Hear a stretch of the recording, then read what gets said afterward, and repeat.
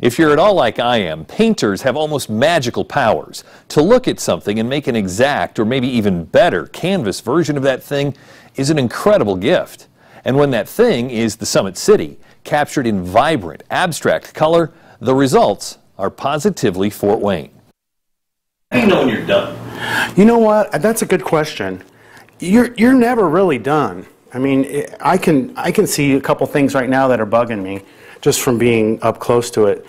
But I don't know. You just, it just works. It's just some, one of those things that you're like, well, I'm done with this part and it looks good. Turn it upside down. See if it looks good. I don't know how you check your work, but Terry Ratliff turns his upside down. If I'm looking at a painting and there's something wrong and I can't figure it out, I turn it upside down and I can find it right away. And I don't know what that is. It's the way your mind or your eyes trick you. Ratliff is a Northside grad who's lived in Fort Wayne his whole life. He opened his studio on Broadway six years ago.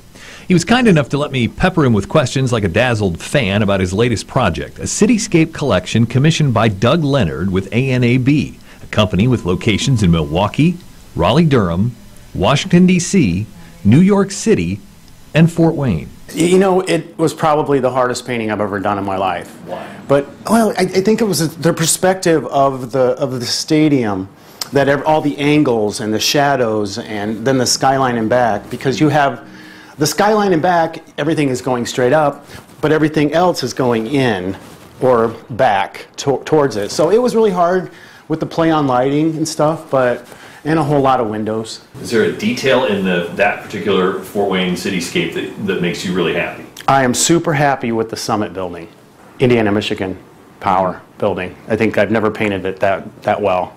Some things are just like that. What was the key this time?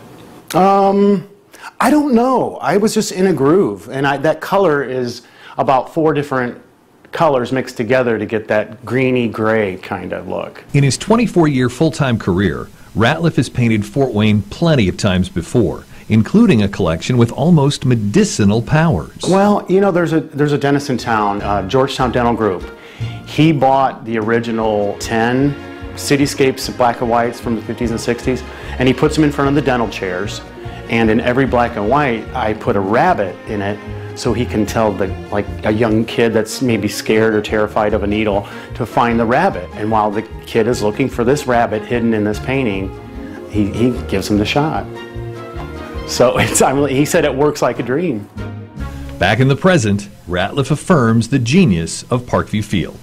Oh, absolutely. Whoever, can, I don't know who planned that whole where to place this this stadium, but it's it couldn't be any better. Yeah, I kind of want to just live in that painting. I know, right? If you'd like to commission a work, we have Ratliff's contact information right now on WANE.com. Today's top stories are next when your number one morning news continues here on WANE 15.